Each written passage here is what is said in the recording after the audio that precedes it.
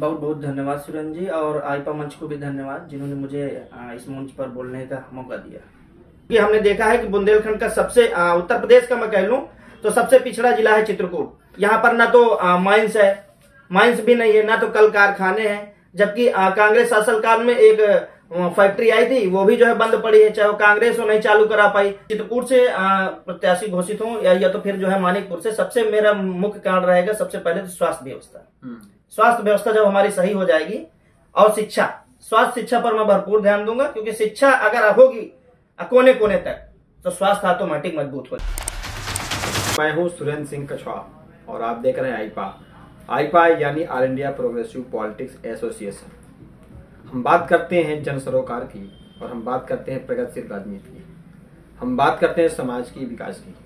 आज इसी कड़ी में हमारे साथ हैं युवा पत्रकार साथी एवं नव युवा नेता संजय साहू, जो इस समय अपनी उम्मीदवारी ज़ाहिर किए हैं।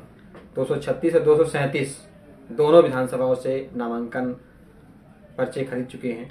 जानते हैं कि जो है इनकी क्या रणनीति है और चुनाव जो इस समय नज़दीक आ गया है, किस तरह से जनता के प्रति जाकर के अपनी रणनीति जो बनाए हैं, कैसे साबित करते हैं?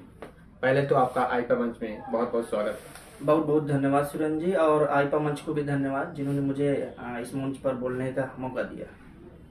आप अभी आज ही जानकारी हमको मिली और कि आप नामांकन के लिए पर्चे भी दाखिल कर दिए हैं। तो आपको क्या लगता है कि आपके क्षेत्र जिस क्षेत्र से भी लड़ना चाहते हैं पहले तो उम्मीदवारी किस क्षेत्र से है ये जानकारी जनता को हो जाए। देखिए उम्मीदवारी तो अभी मैं रात को प्लान करूँगा क्योंकि मैंने आज ही जो है दोनों विधानसभा एक तो मानिकपुर दो सौ सैंतीस जो अति पिछड़ा वर्ग का इलाका आता है वहाँ से और दूसरा दो सौ छत्तीस विधानसभा करबी से मैंने पर्चा लिया है।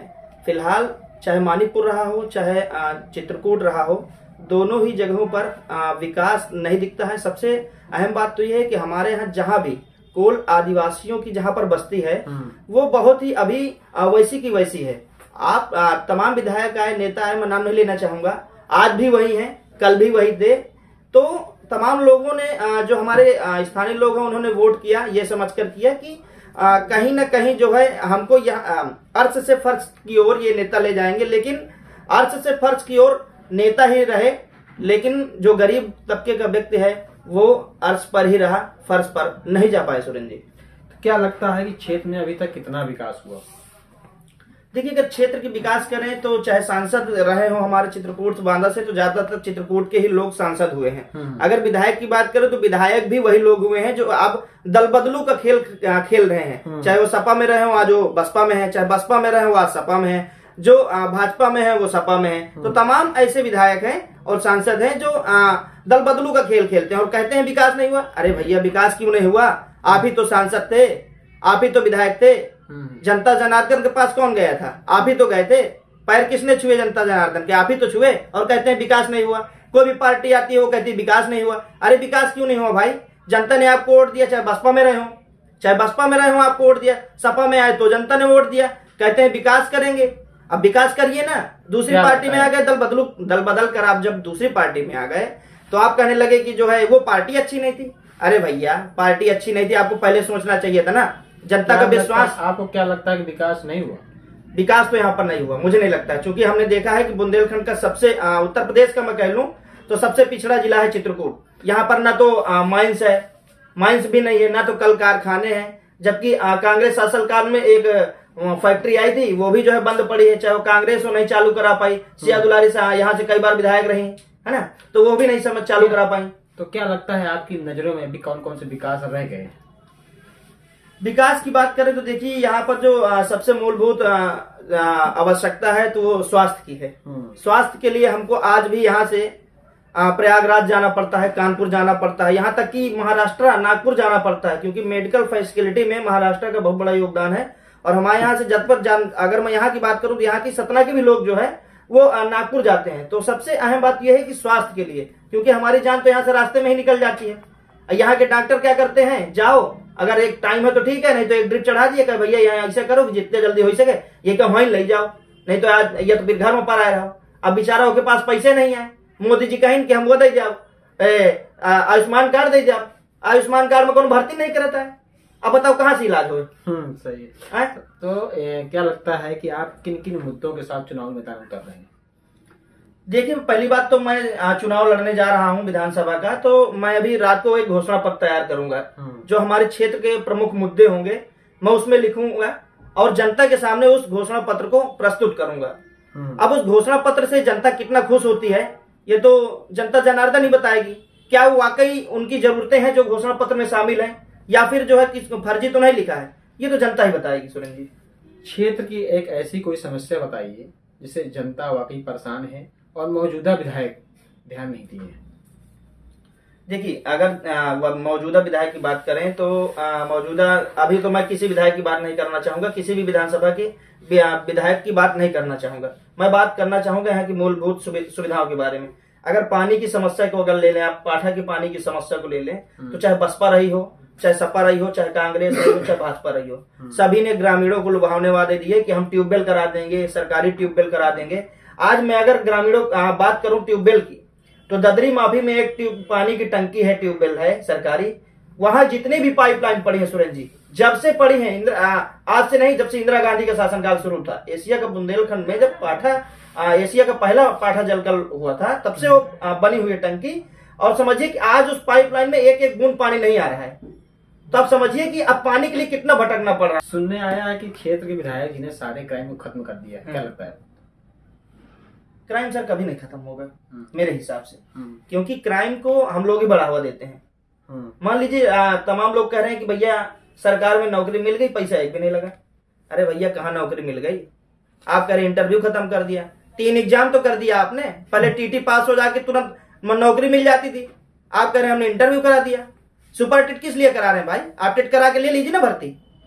क्यों नहीं ले पा रहे हैं? भ्रष्टाचार की बात करें तो हमने देखा भी लगातार वीडियो चित्रकूट से ही वायरल हो रहे हैं। जो जनप्रतिनिधि हैं, उनके लोग ही जो है घूस लेते हैं, बिना काम के नहीं देते। पैंतीस परसेंट कमीशन है बताइए। पैंतीस पैंतीस परसेंट कमीशन। अब पैंतीस सौ रुपया अगर आएगा और पैंतीस प्रतिशत विधायक सांसद खा जाएँगे तो जनता को क्या मिलेगा, ठेगा? अब ये जनता को समझना पड़ेगा। अगर आप विधायक बने और जनता आपको मौका देती है, बन जाते हैं तो क्षेत्र में पहला कार्य क्या रहेगा? सबसे पहले तो मैं चाहे चित्रकूट से प्रत्याशी घोषित हूँ या, या तो फिर जो है मानिकपुर से सबसे मेरा मुख्य कारण रहेगा सबसे पहले तो स्वास्थ्य व्यवस्था। हम्म। स्वास्थ्य व्यवस्था जब हमारी सही हो जाएगी और शिक्षा स्वास्थ्य शिक्षा पर मैं भरपूर ध्यान दूँगा क्योंकि शिक्षा अगर होगी कोने कोने तक तो स्वास्थ्य ऑटोमेटिक मज़बूत हो जाएगा सब विधायक बनने के बाद किस तरह का विकास मॉडल रहेगा आपका? विकास मॉडल तो मैं खोलना नहीं चाहूँगा कि लेकिन घोषणा पत्र के माध्यम से जो है विकास जब मैं घोषणा पत्र जनता के सामने लाऊँगा तो ज़रूर उससे जो है विकास झलकेगा कि वाकई विकास है ये। आप युवा हैं और युवा पत्रकार भी हैं। साथ में आपने जो है इस समय विधानसभा की दावेदारी ठोकी है, दोनों विधानसभा से हालाँकि अभी है क्या लगता है जो इस समय युवा बेरोजगार हैं, शिक्षित, अशिक्षित दोनों? अगर युवा या जनता आपके साथ हैं, आपको सपोर्ट करती है तो उसके लिए रोज़गार के लिए क्या आप उनको साधन दे पाएँगे? अगर देंगे तो क्या क्या आपके मॉडल है? देखिए जितनी भी सरकारें आई अगर मैं मौजूदा सरकार की बात तो करूँ तो नौकरी युवा वर्ग परेशान है नौकरी से परेशान है। लोगों को आत्मनिर्भर बनना पड़ेगा। तो मैं सबसे पहले तो लघु उद्योगों को बढ़ावा दूँगा क्योंकि लघु उद्योग यहाँ से खत्म होते जा रहा है सुरेंद्र जी आपको भी पता है हाँ। कि लघु उद्योग हमारे यहाँ कुटीर उद्योग चलता था तमाम बुनकर जो है छोटे छोटे घर में कारखाने लगाकर या फिर गलीचा बुनना बुना करते थे। आज से काफ़ी आ, काफ़ी साल पहले वो देखे भी जाते थे गली गली कोने कोने हाँ, लेकिन आज वो खत्म होते जा रहे हैं। हमको ऐसे आत्मनिर्भर लोगों को बनाना पड़ेगा कि लोग मज़बूत हों। तो सबसे पहला कदम तो मेरा वही रहेगा। सभी राजनीतिक दल की पार्टियाँ सबसे पहले राजनीति करती हैं तो शिक्षा और स्वास्थ्य की बात करती हैं। शिक्षा पर यदि देखा जाए तो चित्रकूट जिला जबकि बुंदेलखंड का सबसे जिला माना गया है नीति आयोग भी कहती है। क्या लगता है कि यहाँ पर शिक्षा के लिए जो किसान छात्र हैं, गरीब छात्र हैं, किसानों के बच्चे जो हैं, वो बाहर नहीं पढ़ सकते, जा सकते हैं। तो इंटर के बाद उनकी जो है शिक्षा व्यवस्था डाउन हो जाती है। तो क्या लगता है उसके लिए क्या व्यवस्था होनी चाहिए? कोई भी सरकार है क्या करना चाहिए? देखिए, सरकार कोई भी आए, सबसे पहले तो अगर हमें शिक्षा को स्थानीय स्तर पर बढ़ावा देना है तो हमें आईटीआई कॉलेज खोलने होंगे, जिससे लोग बाहर ना जाए। जो क्षेत्र के युवा है जिस चीज़ से वो पढ़ना चाहता है। मान लीजिए मेरी डांस में रुचि है तो डांस के लिए मुझे दूसरी जगह भागना पड़ेगा सीखने के लिए। क्यों ना हम एक डांस एकेडमी खोल दें? सरकार के सहयोग से या फिर जनप्रतिनिधि जो है अपना पैसा लगाकर एक छोटा सा सहयोग करके अगर अपने ब्लॉक में जो बड़ा इनका एरिया है डेवलपमेंट जहाँ हो रहा है, वहाँ अगर एक दो भी डांस एकेडमी खोल दिया तो ज़ाहिर सी बात है जिनकी रुचि होगी, वो आएँगे, सीखेंगे, हम टीचर रखेंगे वहाँ, बाहर चलाएँगे अगर हमारे क्षेत्र का युवा जिस क्षेत्र में जाना चाहता है मैं उस क्षेत्र के संसाधन को वहाँ मुहैया कराऊँगा। मैं नहीं कहता हूँ कि मैं आज ही मुहैया करा दूँगा और सौ परसेंट मुहैया कराऊँगा कोशिश करूँगा कि वो उस क्षेत्र में जा सके सुरेंद्र जी। संजय जी एक जानकारी और मिली थी कि आप आप तो पहले पत्रकार ही हैं पत्रकार थे भी। तो इससे पहले मंत्री जी ने आपको कहा था आप जैसे हज़ारों पत्रकार क्या ऐसे सबक लेकर के आपने चुनाव मैदान पे उतरे देखिए सामाजिक कार्य करने में कोई बुराई नहीं है। पहले तो मैं पत्रकार हूँ क्षेत्र की जनता मुझे छोटे मोदी के नाम से जानती है यहाँ पे। हम्म। छोटे मोदी के नाम से मुझे जानती है और मेरा नाम संजय साहू है और अब मेरी जो ग्रेजुएट ग्रेजुएशन क्वालिफिकेशन है वो bachelor of education B Ed है एम है। तो पहली बात तो मैं अनपढ़ प्रत्याशी नहीं हूँ। ठीक है और मंत्री जी एक आई रहे हैं। मुरली मनोहर जोशी जैसा पिया पीए उनके पीए थे। तो अब उनसे उनको कुछ सीखना चाहिए था। या तो हो सकता है मुरली मनोहर जोशी जी ने कभी पत्रकारों को ऐसे अभद्र शब्द कहे हो। तो मंत्री जी ने भी सुन लिया हो। अब मंत्री जी का इतना बड़ा होता उत्तर प्रदेश में पीडब्ल्यू डी राज्य मंत्री होना कोई स्वाभाविक सी बात तो है नहीं। हम्म। अब उनके लिए जब रोड से बात की जाती है कि भैया मंत्री जी रोड गाँव की सड़कें खराब है तो वो कहते हैं क्या सवाल मत पूछो तुम्हारे जैसे एक हज़ार पत्रकार है।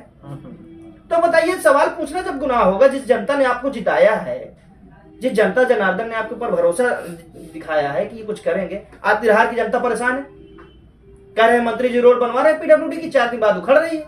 सवाल पूछो तो कहते हैं एक हज़ार पत्रकार है। अब सवाल पूछेगा तो पूछेगा कौन भाई? जनता तो आएगी नहीं सौ किलोमीटर से पूछने। हमें आपको पूछना पड़ेगा। इस तरह के हालात है। चलिए, आपको आईपा मंच में आने के लिए बहुत बहुत धन्यवाद साहू जी। बिल्कुल बिल्कुल आईपा मंच का भी धन्यवाद मुझे यहाँ तक लाने के लिए। अभी हमारे साथ थे युवा पत्रकार व निर्दल प्रत्याशी। अभी 236 से 237 दोनों से नामांकन करने के बाद संजय साहू हैं, हमारे साथ बैठे थे। उन्होंने बताया कि चित्रकूट ज़िले में जो मूलभूत समस्याएँ हैं, पानी, स्वास्थ्य और शिक्षा को लेकर लगातार समस्याएँ चल रही हैं। उस समस्या को लेकर के हम जनता के पास जाएँगे और जनता को ये समस्याओं को रूबरू कराएँगे। उन्होंने, उनका मानना है कि जितने भी प्रत्याशी या जनप्रतिनिधि हैं जनप्रतिनिधि बने सांसद, विधायक, जो भी आए, जनता के लिए काम न करके, खुद के लिए काम किया। उन्होंने कहा कि यहाँ पर स्वास्थ्य में देखा जाए तो एक जिला चिकित्सालय है वो रिफर सेंटर बंद कराया गया है।